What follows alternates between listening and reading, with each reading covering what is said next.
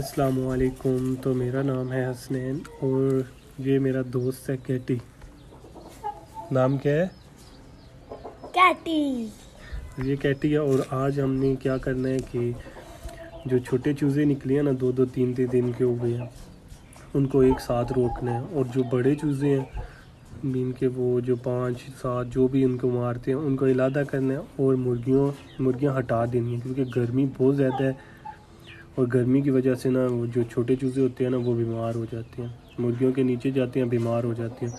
और काफ़ी सारे मुर्गे हैं, मुर्गियों के चूज़े हैं और हम ना उन सबको इलादा इलादा करेंगे। और वो तकरीबन तीस तीस के करीब हो जाएँगे।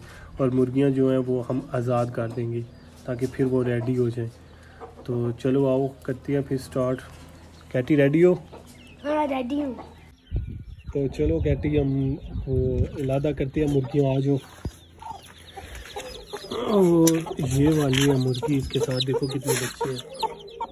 तो ये हम पकड़ लेते हैं मुर्गी कहती ये पकड़ो। बहुत मारती है। मारती है ये तो ये पकड़ो और इसे उधर रोक दो इस पिंजरे में इसे रोक दो।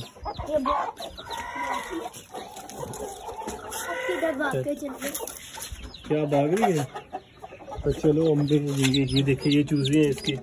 काफ़ी सारे चूजे हैं काफ़ी प्यारे चूजे हैं। हाँ, कितने प्यारे हैं? ज़्यादा प्यारे हैं थोड़े प्यारे हैं? ज़्यादा। कौन सा पसंद है चूजा?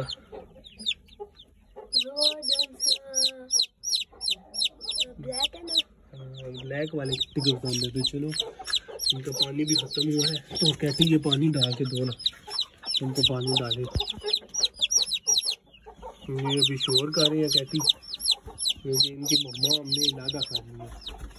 कहती इनकी मम्मा हमने इलादा कर लिया ये शोर कर रही है। तो ये पानी पियो और शोर ना करो।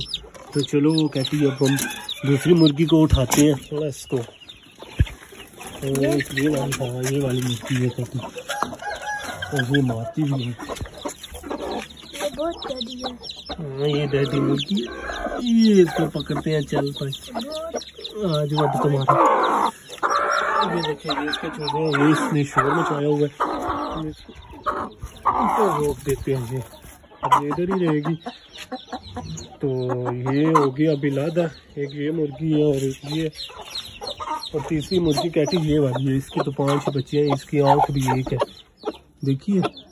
कहती देख रहे हैं गौर से ये निकलेगा तो ओके, अल्लाह हाफिज़।